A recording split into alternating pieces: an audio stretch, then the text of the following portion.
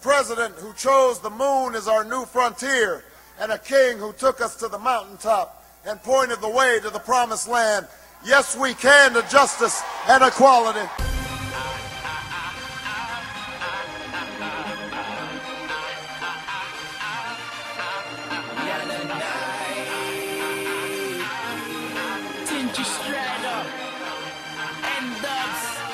Yo, it was nothing but a quick thing. Kids games, kiss chase, just a quick fling. Now I'm hoping you never go missing. Now I'm telling you, you can hold this ring. Watch how it glistens. It was done as quick as the wind blows. Didn't think I would ever be involved. So I It's been a fantastic evening.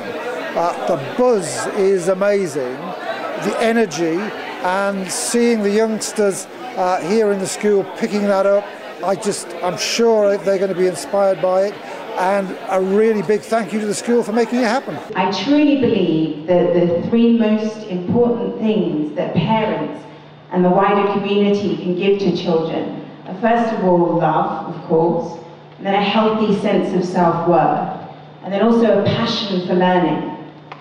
And I hope this evening through my speech that I'm able to, and all the um, incredible speeches that you have coming as well, that we can all help to bolster your sense of self-worth and um, give you a real pride in who you are and also instill in you a respect for education. Even I realised at the time that I couldn't play football in a prison cell. And I needed to get out of my Nottingham sort area, away from my bad friends. And I made that decision to leave my friends. And I even say to my kids to this day, I've got two kids, one girl, one boy, that I left with a suitcase. That's all I left with. One suitcase. Still got the suitcase today. So when I get down, I look on top of my wardrobe and I see my battered suitcase that I left with to remind me where I started from. I am a former student of St Matthew Academy and what I'm doing here today is representing the previous year 11s um, from St Matthew Academy who have gone on, on to Sixth Form College. Um, I have quite enjoyed the evening. I mean, there's been um, other events um, similar to this one, but I think this one has been most successful of them all. Um, there's a greater variety of people than usual, and it's given me and others a great opportunity to network and get to know and meet new people and make new partnerships and relationships too. What I'm saying is that make sure that your education actually becomes a staple in your life because you can achieve anything you want regardless of where you started. Thank you. And I just thought it was fantastic, very uplifting, very inspirational. And what I thought was really telling was the diversity in the range of the backgrounds of the speakers.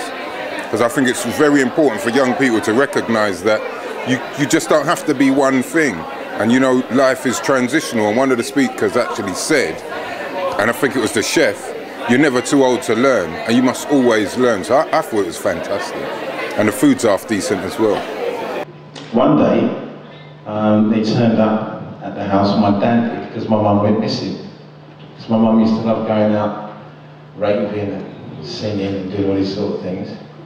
Um, and my dad turned up with me one morning, dropped me off, with a suitcase as well, okay? And an envelope.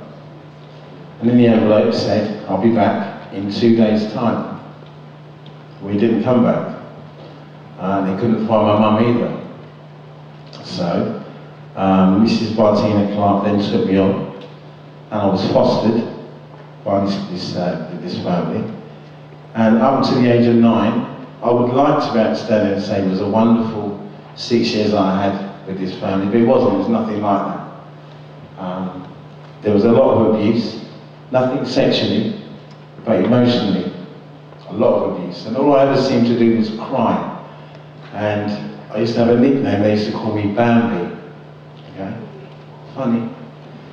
Okay. Um, the only time I was happy was when it was time to eat.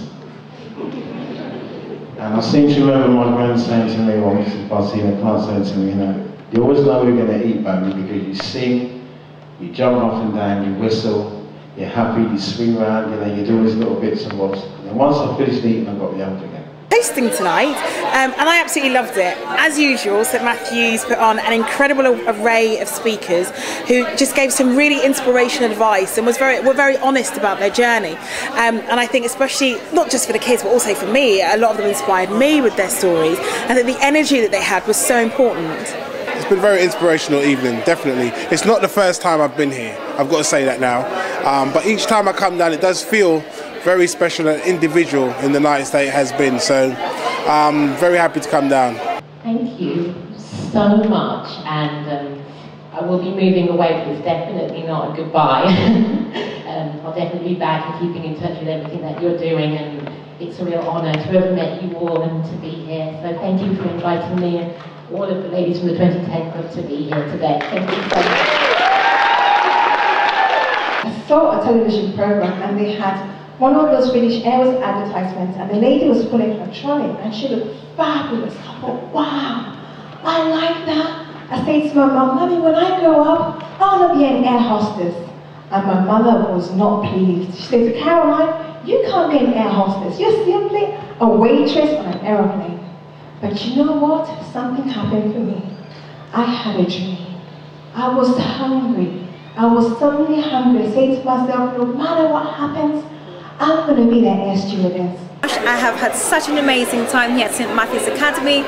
Um, I love the fact that you have the idea of knowing that we all have the ability to turn nothing into something simply by saying yes we can. And you know what?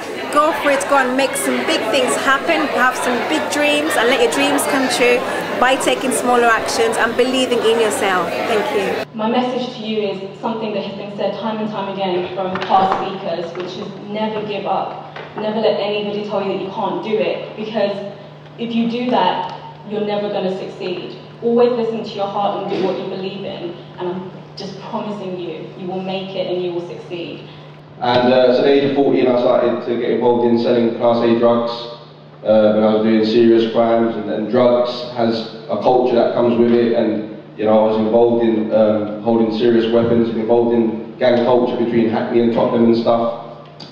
And this continued for the next seven years of my life, and you know, I was I was doing this, and um, at age 21, I was arrested, and uh, for Class A drugs, for possession with intent to supply, and money laundering, and I was sent to prison, and I got a six-year sentence, and I served half of that sentence, so I did three years in prison.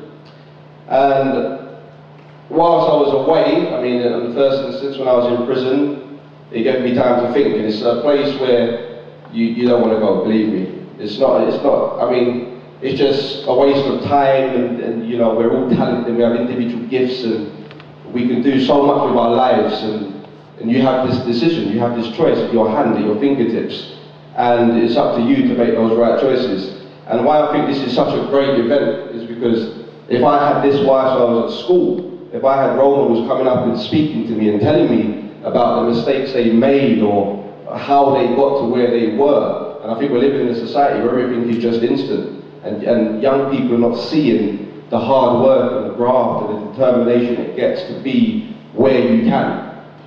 And um, I was in prison and uh, I did a drama course whilst I was in prison. I've come here today at St Matthew's Academy, which is, I think, a very fantastic outfit, a very good school kids are wonderful, lovely reception, and I've enjoyed it immensely. One of the better academies I've been to, I must say, because I've been to a few and do motivational speaking around around the country. But um, yeah, it's it's a lovely. You get a lovely sense of peace when you come in a building, and it's just you know there's a great positive energy about the place. So um, hopefully that that leaves with the kids once they leave school and and they help build the community to to the place it should be.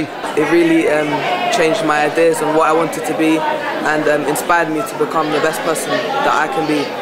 Um, I also um, spoke to a person named David Neita who um, talked to me about a conference which uh, will take place um, next year, which then I'll be able to carry on and, and take up take on a scholarship, which I could then go on to one of the best law schools in the UK. And when I look at this room, I see a group of students who are not just diverse in terms of gender and ethnicity and culture, but never forget your ideas that you have. The proverbs that your parents told you, one, one, pork a full basket, and all of these things.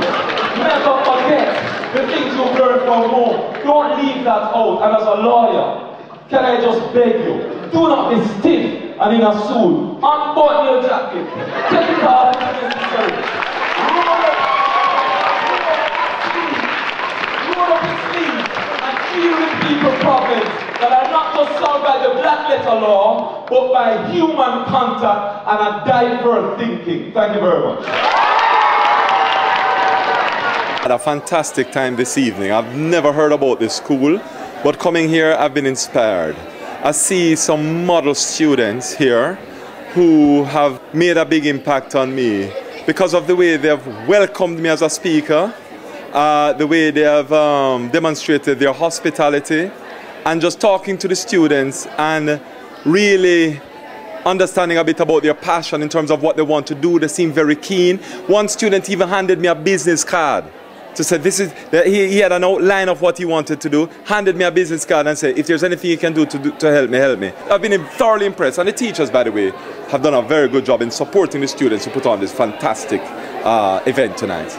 You have to work hard. You have to believe in yourself but no matter what with your education with faith and determination you can achieve whatever you want to. So I'm really proud to be able to be here today to cheer, cheer you on at this early stage in your career and to say firmly and absolutely that yes, you can. My name is President Obama Jr. Yes, we can. You are number one.